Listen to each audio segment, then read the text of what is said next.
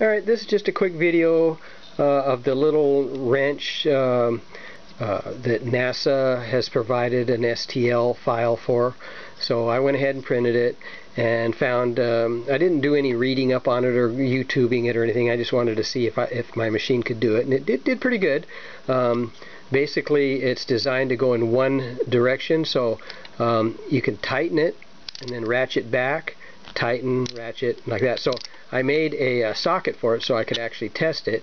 So this would be, you know, again, um, tightening, loosening, you know. So if you want to loosen, uh, this particular wrench only goes in the one direction. So what I wanted to do is make a wrench um, that would go in both directions. So this is the one uh, that can be used uh, for not only tightening but uh, loosening as well. Uh, it essentially looks the same. There's not much difference about it. So as you can see, if I turn it this way, it ratchets going that way, tighten, you know, ratchet, tighten. So I wanted to make it do uh, both functions.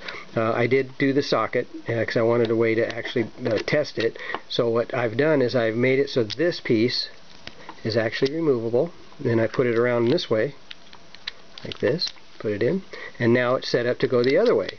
So now it ratchets going this way and loosens going the other way.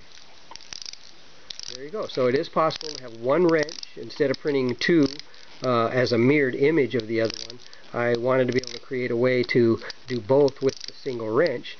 So again, you take this off, you pop this out like this, take it out, flip it around this side over here, put the socket back in, and now you're tightening, you know, and then it ratchets going the other way. So there you go. So it, it's not convenient. There's no little button or thing to flip here, but if you want one wrench to do both jobs, um, yeah, that's what this is set up to do.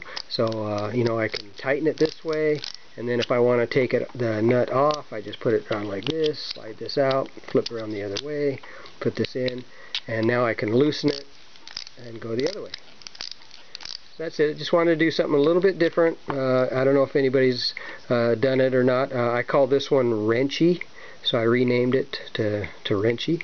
And uh, yeah, so there you go. It is possible and not too difficult. If you want to lock this in, I put a hole right here. Uh, so that it doesn't fall out you just put a piece of filament in there a little small piece of filament and that will lock it into place uh, then when you want to flip it or whatever you just knock the filament out take this out like this flip it around this side and then uh, put the filament back in right there. So it is possible to have a wrench uh, do both jobs, uh, tighten and loosen, without having to do a mirrored image of the same wrench. Okay, thank you for watching.